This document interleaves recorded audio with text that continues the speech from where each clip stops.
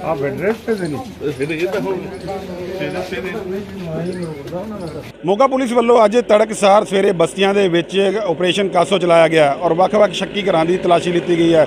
ਤੁਸੀਂ ਦੇਖ ਸਕਦੇ ਹੋ ਤਸਵੀਰਾਂ ਇਸ ਟਾਈਮ ਮੋਗਾ ਦੇ ਸਾਦਾ ਵਾਲੀ ਬਸਤੀ ਦੀਆਂ ਤਸਵੀਰਾਂ ਜਿੱਥੇ ਵੱਡੀ ਗਿਣਤੀ ਦੇ ਵਿੱਚ ਪੁਲਿਸ ਪਾਰਟੀ ਪਹੁੰਚੀ ਹੋਈ ਹੈ ਔਰ ਵੱਖ-ਵੱਖ ਘਰਾਂ ਦੇ ਵਿੱਚ ਤਲਾਸ਼ੀ ਲਿੱਤੀ ਜਾ ਰਹੀ ਹੈ।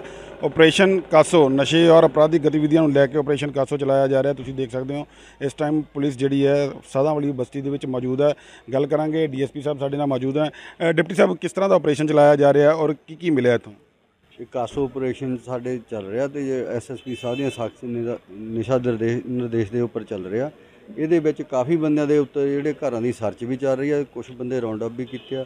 ਹਾਂ ਜਿਹੜਾ ਇਹਨਾਂ ਤੋਂ ਕੁਝ ਰਿਕਵਰੀ ਹੋ ਰਹੀ ਆ ਉਹ ਉਹਨਾਂ ਦੇ ਖਿਲਾਫ ਅਸੀਂ ਜਲਦੀ ਕਾਰਵਾਈ ਕਰ ਰਹੇ ਹਾਂ। ਇਹ ਕਿਹੜੀਆਂ-ਕਿਹੜੀਆਂ ਬਸਤੀਆਂ ਦੇ ਵਿੱਚ ਜਿਹੜੀ ਹੈ ਸਰਚ ਕੀਤੀ ਹੈ ਇਹ ਸਾਧਾਂ ਵਾਲੀ ਬਸਤੀ ਮੋਗੇ ਆ ਤੇ ਇੱਕ ਐਮਪੀ ਬਸਤੀ ਲੰਡੇ ਕੇ ਆ।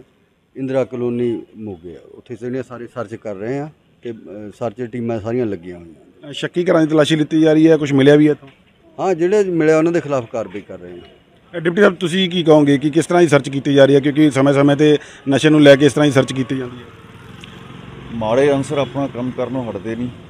ਉਹਨਾਂ ਨੂੰ ਸਬਕ ਸਿਖਾਉਣ ਲਈ ਇਹੋ ਜਿਹੇ ਕਾਸ ਆਪਰੇਸ਼ਨ ਜਿਹੜੇ ਆ ਪੰਜਾਬ ਸਰਕਾਰ ਨੇ ਸ਼ੁਰੂ ਕੀਤੇ ਹੋਏ ਆ ਅੱਡ ਅੱਡ ਜ਼ਿਲ੍ਹਿਆਂ ਦੇ ਵਿੱਚ ਉਸੇ ਤਹਿਤ ਹੀ ਸਾਡੇ ਮੋਗੇ ਜ਼ਿਲ੍ਹੇ ਦੇ ਵਿੱਚ ਵੀ ਜਿੰਨੇ ਤਿੰਨ ਚਾਰ ਮੁਹੱਲੇ ਆ ਜਿੱਥੇ ਮਾੜੇ ਅਨਸਰ ਰਹਿੰਦੇ ਆ ਤੇ ਉਹਨਾਂ ਦੇ ਉੱਤੇ ਅਸੀਂ ਉਹਨਾਂ ਨੂੰ ਫੜਿਆ ਫੜ ਕੇ ਉਹਨਾਂ ਦੇ ਅੱਜ ਪਰਚੇ ਵੀ ਦਿਆਂਗੇ ਤੇ ਆਉਣ ਵਾਲੇ ਭਵਿੱਖ 'ਚ ਵੀ ਅਸੀਂ ਉਹਨਾਂ ਨੂੰ ਕਾਬੂ ਕਰਕੇ ਨਸ਼ਾ ਮੁਕਤ ਸਮਾਜ ਸਿਰਜਣ ਦੀ ਪੂਰੀ ਕੋਸ਼ਿਸ਼ ਕਰਾਂਗੇ। ਕੁਝ ਹੈ ਮਿਲਿਆ ਜੀ ਇੱਥੋਂ ਨਸ਼ਾ ਵਗੈਰਾ ਜਾਂ ਕੋਈ ਵਾਹਨ ਜ਼ਬਤ ਕੀਤੇ ਹੁਣ ਕੁਝ ਹੋਰ? ਹਾਂਜੀ।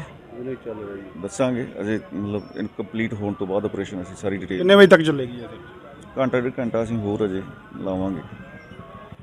ਬਿਲਕੁਲ ਬਸਤੀਆਂ ਦੇ ਵਿੱਚ ਸਵੇਰ ਤੜਕਸਾਰ ਹੀ ਜਿਹੜੀ ਹੈ, ਪੁਲਿਸ ਜਿਹੜੀ ਹੈ ਵੱਡੀ ਗਿਣਤੀ ਦੇ ਵਿੱਚ ਪਹੁੰਚ ਗਈ ਹੈ। ਤਸਵੀਰਾਂ ਜਿਹੜੀਆਂ ਤੁਸੀਂ ਦੇਖ ਸਕਦੇ ਹੋ ਕਿ ਮੋਗਾ ਦੀ ਸਾਦਾ ਵਾਲੀ ਬਸਤੀ ਦੀ ਹੈ। ਇਸ ਤੋਂ ਇਲਾਵਾ ਹੋਰ ਵੀ ਬਸਤੀਆਂ ਦੇ ਵਿੱਚ ਪੁਲਿਸ ਵੱਲੋਂ ਸਰਚ ਕੀਤੀ ਗਈ ਹੈ। ਆਪਰੇਸ਼ਨ ਕਾਸੋ ਜਿਹੜਾ ਚਲਾਇਆ ਗਿਆ, ਅਪਰਾਧਿਕ ਗਤੀਵਿਧੀਆਂ ਨੂੰ ਲੈ ਕੇ ਔਰ ਦੂਜਾ ਨਸ਼ੇ ਨੂੰ ਲੈ ਕੇ ਜਿਹੜੀ ਹੈ ਇੱਕ ਵੱਡੀ ਸਰਚ ਆਪਰੇਸ਼ਨ ਕੀਤੀ ਗਈ ਹੈ।